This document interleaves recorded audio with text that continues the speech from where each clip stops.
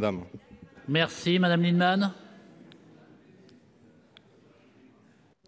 Chers collègues, euh, on pourrait se dire que la succession des plans et ce qui nous est proposé récemment est un bricolage par rapport à l'enjeu de l'avenir de notre système de santé.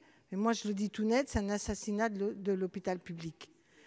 Parce que euh, nous sommes dans une situation où l'ONDAM est à des années-lumière, à des années-lumière. Comment? Oui, mais figurez-vous que moi, je ne l'ai pas voté.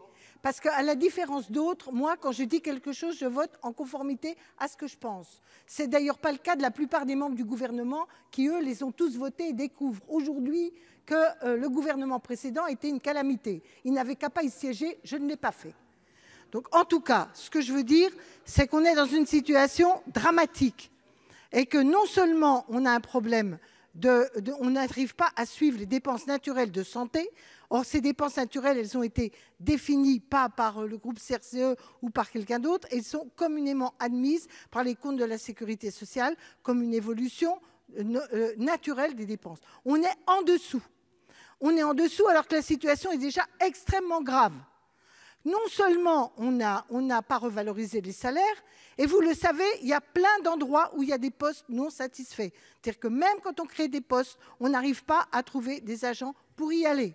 À force de dévaloriser ces métiers, on est dans une crise de, de vocation et de capacité à répondre aux besoins dramatique.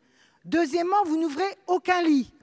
Tous les professionnels des services d'urgence, il n'y en a pas un qui ne vous dit pas qu'il y a nécessité d'ouvrir des lits pour pouvoir justement euh, la suite des urgences soit traitée correctement. Et, les sommes qui sont dégagées, m'excuse, des recettes, il peut il y en avoir dans ce pays.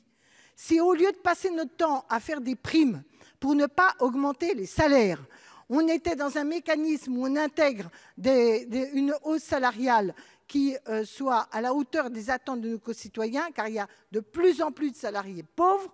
Si par ailleurs on avait l'égalité euh, salariale entre les hommes et les femmes, ce qui quand même n'a pas besoin d'avoir 25 ans ou 30 ans pour être euh, atteint, nous aurions les recettes nécessaires pour pouvoir équilibrer des propositions d'un nom d'âme suivant les dépenses naturelles de santé. Si, chers collègues.